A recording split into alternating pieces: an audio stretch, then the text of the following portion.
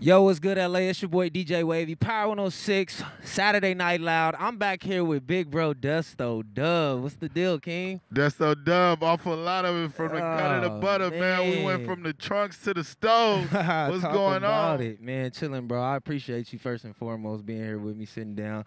First thing I want to get into, man, I just seen a clip. Uh, it was on one of your vlogs, and you was giving back or tapping in with the Westchester uh, girls soccer team. Yeah.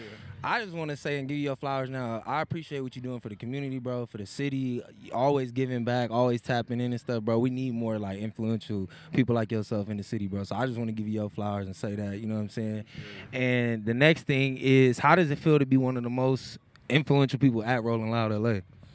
You know, it's so crazy. Like, like I really didn't notice it was like that till I kind of came Mhm. today over here this way. Cause I, I, if y'all don't know, I have a booth here. I, I chase rolling around, rolling loud around. I'm one of them people that go to the city and uh, rent out a store for a pop up, and I do pop ups in most major cities where these festivals are. Yeah. So this was my first time ever actually being inside of a festival selling my merch. You know, I wasn't outside around the corner, up the street. You know, and that's a struggle itself because it's like I'm not. I'll be in Miami and I'll do a pop up in Wynwood. You know, they be like, bro, that's too far from where Where Rolling Loud is is from. But Yeah. being in LA, I know everything.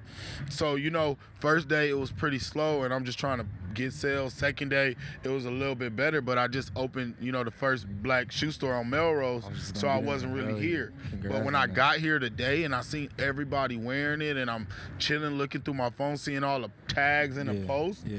It kind of felt good and like not even like to see it but just to see what people were saying that was reposting it like Yeah. that's my boy from high school like you know oh man you inspire me like that's the best feeling at all Yeah, bro, and it, and I, I just feel like it's a blessing because you from the city, you know what I'm Yeah. saying, and this is the first Rolling Loud in Los Angeles, and for you to be a part of it, like I, I was in the Loud Club, and all I see on the on the screens on the main stage is your face, the brand, and everything, and I'm just like, damn, bro, you know what I'm saying? It's good to see somebody, you know what I'm saying, looking up, and I seen your growth, your journey. I don't know, you done been through ups and downs, you know what I'm saying? They done period, tried to put you down, so. Yeah. I, I respect it, bro. And all I want to say is, uh, with the with the brand and everything, you just opened up another store. This is like what three or four stores. this is now? three three i have four but it was just like a pop-up temporary thing Okay. but i got three stores that run seven days a week 365 How does that? How do you?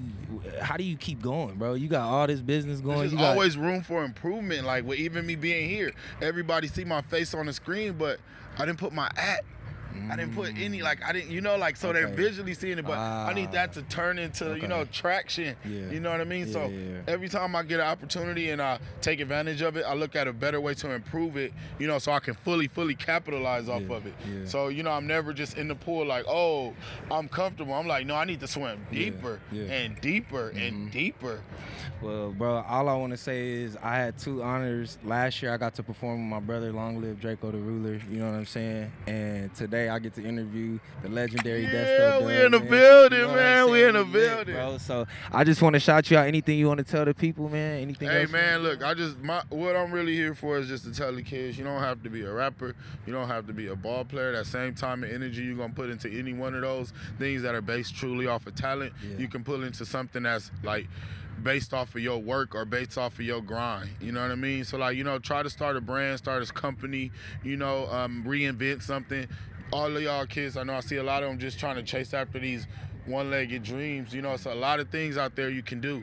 You know, so just keep that in mind when you're out here trying to figure out what you want to do in life. Don't always just take the only rap. Because you see me, I sell T-shirts, and I look just as and make as much as a rapper or NBA player. Mm. So you know, if you want to live that life, there's other ways to get there without having to do that or do anything illegal. So just keep it on the up and up, kids. Well, we appreciate you, King. Y'all know you heard it first. Power on six Saturday Night Loud. DJ Wavy, Desto Dubb, man. We out here. Awful lot of it. Hey, appreciate you.